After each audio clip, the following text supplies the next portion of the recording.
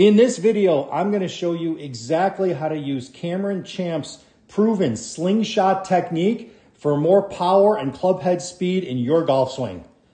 What's up everyone? This is Jim LaBuda here once again. And like I mentioned, today we are going to take a look at the golf swing of Cameron Champ.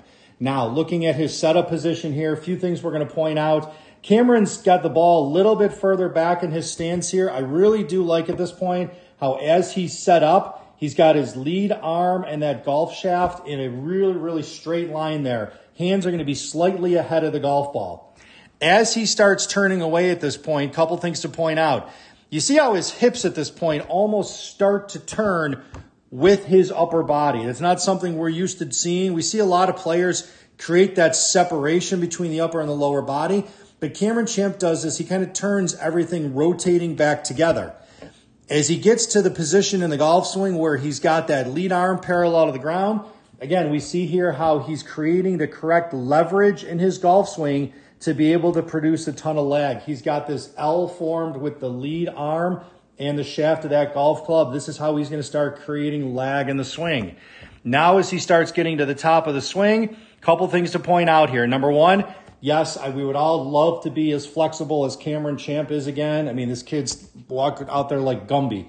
We're going to notice here how lower body is definitely what's going to start the swing, but this is where he starts using his what we call slingshot technique to sling and basically snap the golf head golf club through impact, creating a lot of speed and power. First thing we're going to notice is as he starts coming down in the downswing, he focuses on this trail elbow. He wants that elbow to really start getting into and thinking about that getting to the golf ball first. Obviously, it's not going to, but he is the more he can create that leverage and keep that angle in his swing, the better he's going to be, the more snapping power he's going to have through impact. After the elbow gets there, the next focus is the hands. He wants the hands coming down. You can see here the hands are what's leading the club in when it gets to that tra- hands get to that trail thigh, you can see the amount of lag he's got in the golf club here still. The next thing he focuses on is getting the shaft coming through and then the head of the golf club. So his sequence that he wants to create this snapping motion is going to be elbow, hands, shaft, club head. And you can see at this position where he's got that lead arm and the shaft of the club here, most players at this time, we saw it set up. He had a nice straight line from that lead arm all the way down. But you can see how he's snapping power through here. His hands are definitely ahead of the ball. We don't really see many players hitting a fairway wood like this. And then as he continues through, right arm starts to extend and he gets into a full release. You can see here at impact again, that right elbow is still a little bent and he's fully extending it completely after impact.